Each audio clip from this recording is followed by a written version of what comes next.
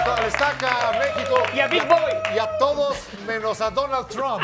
Donald Trump, todos sabemos, es un tipo al que le faltan tamaños, pero ahora sí es pequeño, minúsculo y ridículo. Lo han convertido en un troll. Vea usted este troll, que es la creación de Chuck Williams, un artista de Wisconsin, que presentó este proyecto con la intención de conseguir dinero para fabricar estos bonitos trolls de Trump, este, pues en serie y ¿Viste venderlos. las nalgas? Tie- Tiene celulitis. Sí, sí, sí. ¿Y, y al- le alcanzan a ver el pene?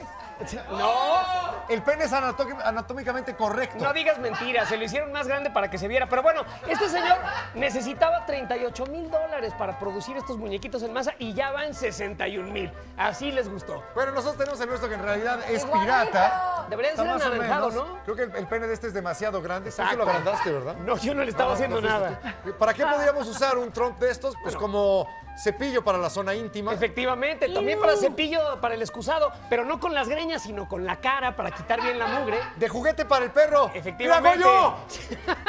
También lo podríamos poner en el mingitorio para que la gente no le falle en el Azteca, ¿no? En vez de hielos y, y limón. Está bien. O para atorar la puerta. No, ¿sabes para qué me gusta? Como para detener la botella de agua. ¿No? Aquí está mi trompa, aquí está mi botella de ¡No, agua. espérate! ¡Ay, se rompió! Se murió. Bueno, en otro orden de ideas, en este momento se está llevando a cabo la boda del siglo. Y digo del siglo porque la novia tiene más de 100 años, mírenla. Ella es Valdemira Rodríguez, de 106 años. ¡Y se va a casar! Sí, se va a casar con un hombre que tiene 40 me- eh, menos que ella. O sea, como si yo me casara con una señora de 87. ¡Viejo rononón! Yo sé que a ti te gustan grandes, ¿no? Sí, güey, y cabezonas Está- y no, peludas. pero no es de Yucatán. Y con las venas saltadas. Bueno, ¡Qué asco! el asunto es que se casó y todo fue muy bonito. Sí, estuvo muy bonito. Y tenemos en estos momentos a nuestra reportera Verónica Tucent, allá en la boda del siglo. Adelante, vamos contigo, Verónica. Eh, muchas gracias. Miren, no puedo hacer mucho ruido, pues porque estamos en el momento justo en el que Valdemira camina hacia su enamorado. Ah. La sorpresa es que se casó de blanco. ¿Qué? Oigan, a los 106 años, pues qué desperdicio de vida. No hay tiempo que perder. Apriétale, mi Valde, apriétale. Digo, el Oye, camino. Eso sí tiene que consumirse ya, ¿no? Se tiene que consumir. Consumarse. Ah, consumar- perdón, no consumirse, consumarse. Está bien. Bueno, esperemos que esto suceda pronto. Nosotros regresaremos con Verónica. Mientras tanto, vamos con lo que sigue. Ahora una embarradita del devenir nacional. Nuestros cuerpos cada día están mejor. Por ¿Sí? supuesto, no me refiero a los nuestros, sino a nuestros cuerpos policíacos. Ah. Porque ya, ya saben que la seguridad en México es algo de lo que ya no tenemos que preocuparnos.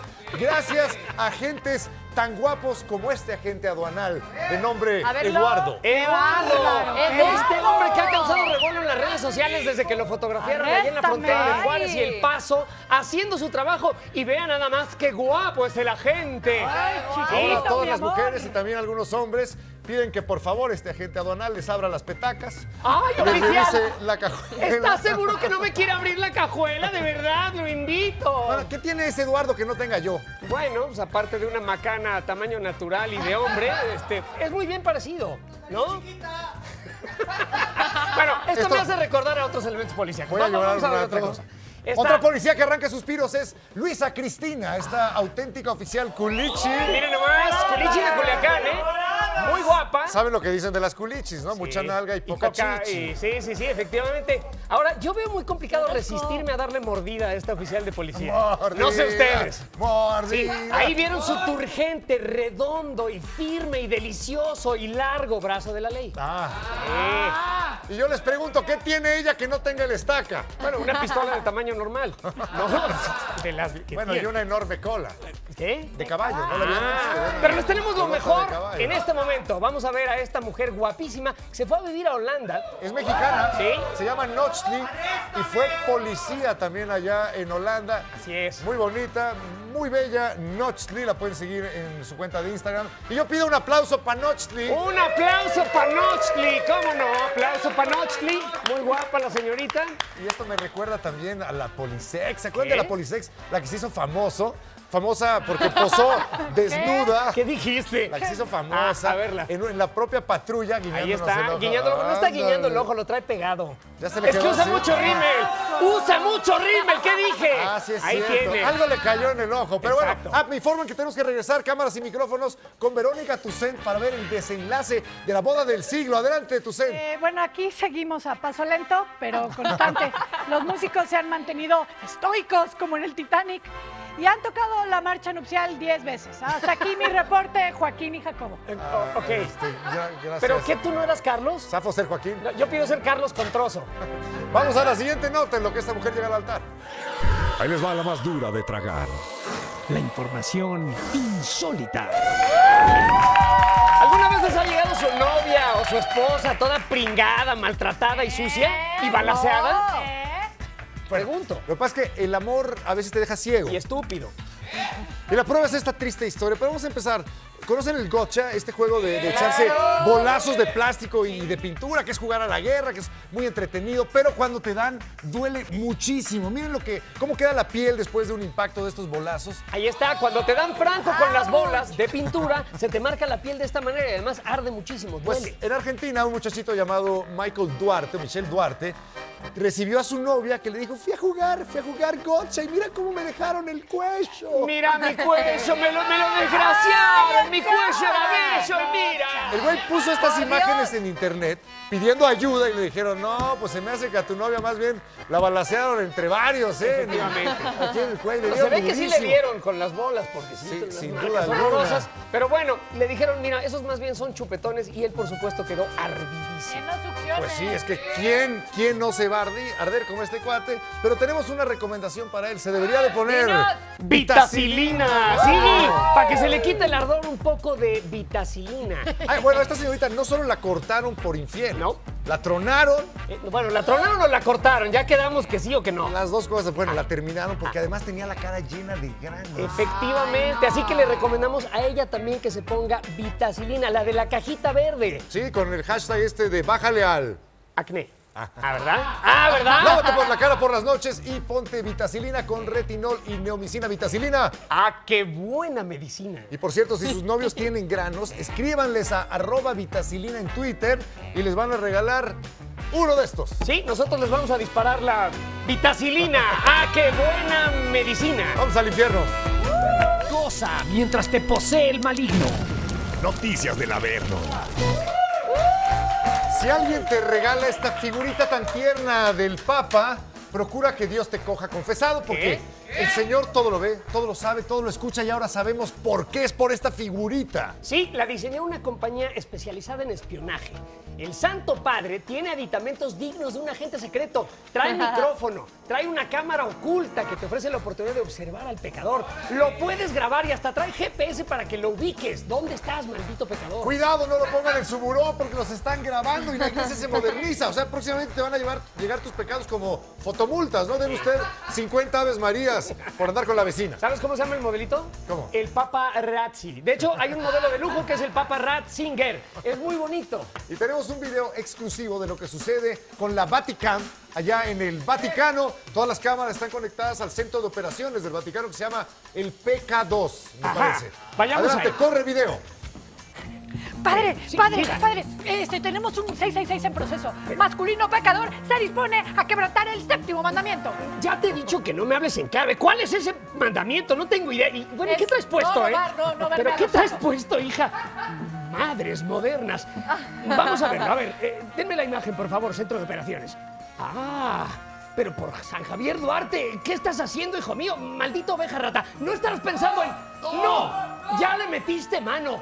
¡No! ¿Quién crees que eres para robar así? ¿Un gobernador mexicano? ¡Deja eso! ¡Sí, ya te vi! ¡Arrepiéntete! Pero no me pidas perdón a mí, yo solamente soy una figurita de acción. Pídele perdón a Dios. Y, no tires el dinero, hombre, que el dinero es bendito. La iglesia lo ha adorado durante siglos.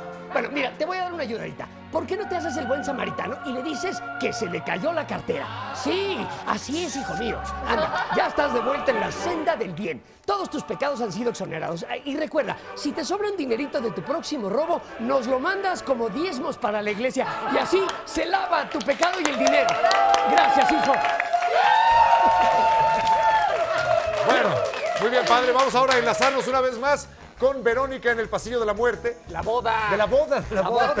Perdón, Verónica, cuéntanos, por favor, ¿es cierto que los novios apresuraron eh, la boda porque se comieron la torta antes del recreo? No, no, eh, en realidad eso era un quiste. Y al esposo ya le cambiaron la bolsa de diálisis dos veces y yo ya no aguanto los tacones. Oye, ¿y dónde va a ser la luna de miel en Galloso?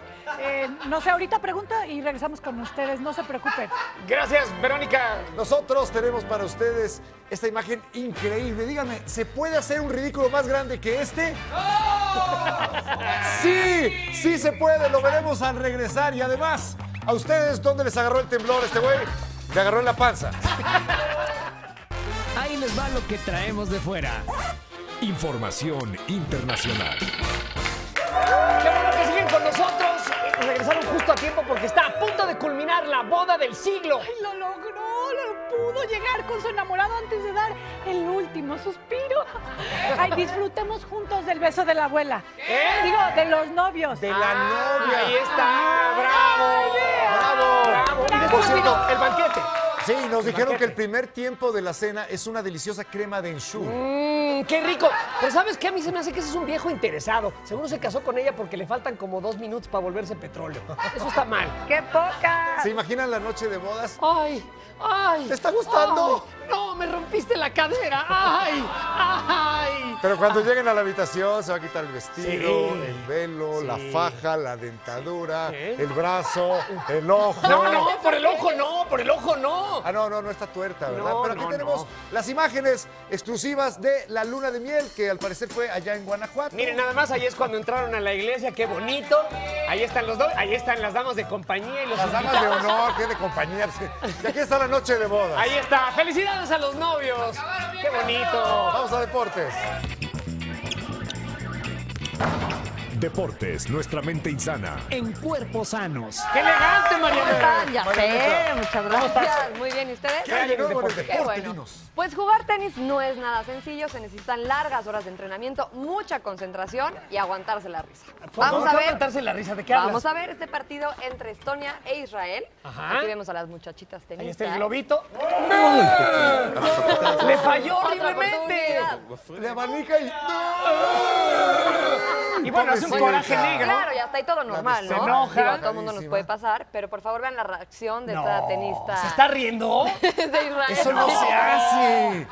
¡Qué mala Pero ni la onda! risa perdona esta güerita. Bueno, y ahora ya va a sacar, ¿no? Sí, ya es momento de concentración máximo, es muy importante. Y de repente. No puede. No puede, no puede contener la risa. ¿Sabes qué? Desde que la vi se ve que esa muchachita le gana la risa. Desde que la vi. Eh, ¿Cómo no? Es que qué feo abanicó, ¿eh? Pero eso sí, esa maldita mosca obtuvo su merecido. Efectivamente. Ahora, a cualquiera le pasa, ¿eh? ¿Qué? ¿Qué? Lo de abanicar la bola, no. O sea, querer clavarla y no atinarle. Es feo. Ah, Además eso que sí le dicen poste. Sí, Ah, no tengo ni idea. ¿Y sabes qué es lo peor? Que se ríen de ti de la misma manera. Además, Sorry. la risa perdón. Vamos al final. Feliz gracias. Terminemos todos juntos empapados de información. El final feliz. ¿Les ha tocado alguna vez un temblor? Es un momento Sí. terrorífico, Sí, ¿no? sí, ¿Qué sí, haces? sí. ¿Corres? ¿Gritas? O ¿O eh, disfrutas y bailas con el payasito del rodeo? ahí está. Aquí empieza el movimiento telúrico. ¡Y! ¡Yeah! ¿Cómo no? Como chícharos en jícara. Para un lado, para otro. Sí, cómo no. Mira, bien, bien parejitos y coreografiados, ¿eh? Muy Qué bonito bonito. el payasito del rodeo que eventualmente nos ha de cargar a todos, así que echémonos unas risas.